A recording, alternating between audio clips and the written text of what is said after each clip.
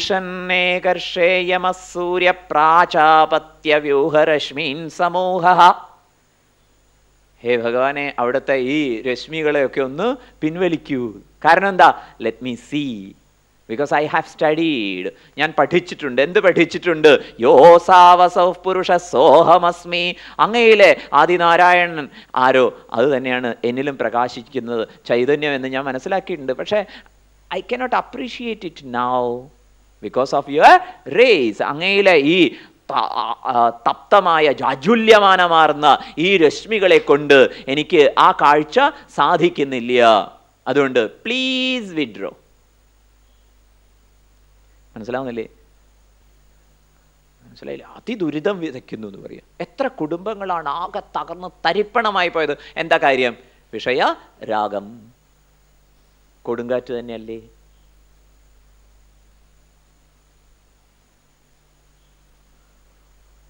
പിന്നെയോ ദ്വീപങ്ങളുണ്ട്. കപ്പൽ ചാലിനെ കുറിച്ച് ഭഗ എന്താണ് ഇവിടെ പറഞ്ഞത്? ഭഗവത്പാദർ പറഞ്ഞത് ശ്രദ്ധിക്കുക. ഏതാ കപ്പൽ ചാൽ? കരയിൽ എത്തിച്ചേരാനുള്ള ചാൽ. അതെന്താ? സത്സംഗം. സത്സംഗമാകുന്ന കപ്പൽ ചാൽ. അതിലിങ്ങനെ പോണം.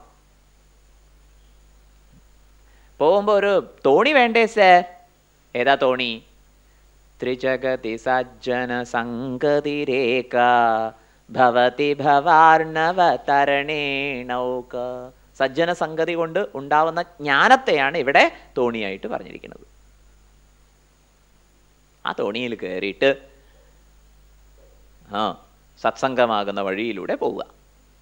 അപ്പൊ ഇടയ്ക്ക് കഴിക്കാനുള്ള ഭക്ഷണമോ?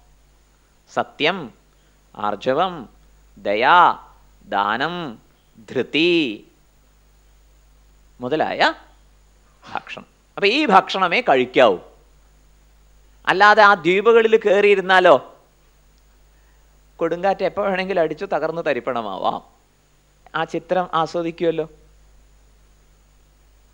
പരജനദ്രോഹം ചെയ്യാതെ പ്രകൃതിയുടെ സുസ്ഥിതി ഉറപ്പുവരുത്തിക്കൊണ്ട് സ്വർഗം ലക്ഷ്യമാക്കി ഇത്തിരിയൊക്കെ ത്യാഗത്തിന് സന്നദ്ധത കാണിക്കുന്നവരെ വേദത്തിന് വളരെ ഇഷ്ടമാണ്. അഭിസംബോധന ചെയ്തുകൊണ്ട് പറയുന്നു സ്വർഗകാമോ യജേത? അങ്ങനെ ഒട്ടനവധി യജ്ഞയാഗാദികൾ ഉപദേശിച്ചിരിക്കുന്നു. ഓക്കെ പക്ഷെ വീണ്ടും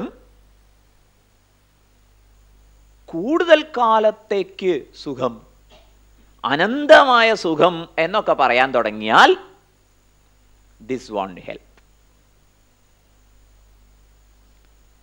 മനസ്സിലാവുന്നില്ലേ? അപ്പൊ ഇവിടത്തെ ഒരു പോക്ക് എന്താ നിങ്ങൾക്ക് തൽക്കാലം സുഖം ഇങ്ങനെ ഇടയ്ക്കിടയ്ക്ക് കിട്ടിയാൽ മതിയെങ്കിലോ ഇൻസ്റ്റാൾമെന്റ് ബേസിസിലാണെങ്കിലോ പെർമനന്റ് ജോബ് അല്ല പിന്നെ ടെമ്പററി ഇവിടെ കുറച്ചു കാലം അവിടെ കുറച്ചു കാലം അങ്ങനെയാണെങ്കിലോ? Go ahead with your reactions പക്ഷെ അത് പരജനദ്രോഹം ആക്കാതിരിക്കട്ടെ എന്നൊക്കെ വേദം ഇങ്ങനെ നമ്മളെ പ്രേരിപ്പിച്ചുകൊണ്ടേയിരിക്കും. അത് കഴിഞ്ഞ് നമ്മൾ വേദവിഹിത കർമ്മത്തിലേക്ക് പ്രവേശിച്ചു കഴിഞ്ഞാലോ സ്വർഗം ചൂണ്ടിക്കാണിച്ചു തരും. അപ്പം നമ്മൾ ഇവിടെ സാക്രിഫൈസിന് തയ്യാറാവും ത്യാഗത്തിന് തയ്യാറാവും. നിങ്ങൾ ഭഗവത്ഗീത ക്ലാസ്സിലൊക്കെ പങ്കെടുത്താൽ എന്താ ഗുണം ഉണ്ടാവുക? ഉത്പാദനക്ഷമത വർദ്ധിക്കും. അപ്പം ഏതിനാണ് നിങ്ങൾ ലക്ഷ്യമിട്ടിരിക്കുന്നത്? പ്രൊഡക്ടിവിറ്റിക്കാണ് അപ്പൊ ഇത് ജ്ഞാനകർമ്മ സമുച്ചയമാണ്. ഈ വാദം. മനസ്സിലാവുന്നില്ലേ? ഇങ്ങനെയുള്ള വഴിതെറ്റലുകളെ ശ്രദ്ധിക്കണം. ഈവൻ മെഡിക്കൽ ഫീൽഡിൽ പോലും രോഗിയായിട്ട് വരുന്ന ഒരാളോട് ഡോക്ടർ എന്ത് പറയണു ഇത്തിരി മെഡിറ്റേഷനും കൂടി ശീലിച്ചാൽ നന്ന്. ജ്ഞാനകർമ്മ സമുച്ചയം. അല്ലാതെ മോക്ഷം നേടാൻ നിങ്ങൾ തത്വജ്ഞാനം ചെയ്യൂ തത്വ നിധിധ്യാസനം ചെയ്യൂ എന്നല്ല. ആരോഗ്യം നന്നാവാൻ മെഡിറ്റേഷൻ ചെയ്യൂ. ജ്ഞാനകർമ്മ സമുച്ചയവാദത്തിന്റെ പ്രസക്തി മനസ്സിലായോ? ഇവിടെ എന്താ ജ്ഞാനകർമ്മ സമുച്ചയവാദം എന്ന് പറഞ്ഞാൽ ഫിസിക്കലായിട്ടുള്ള ആക്ഷൻസിനും അനുവാദമുണ്ട്. കുറച്ചൊക്കെ ധ്യാനാദികൾ ഉപാസനകൾക്കും അനുവാദമുണ്ട്. ഇത്തിരിയൊക്കെ തത്വമസി എന്നുള്ള ഉപദേശം ഇരുന്നോട്ടെ.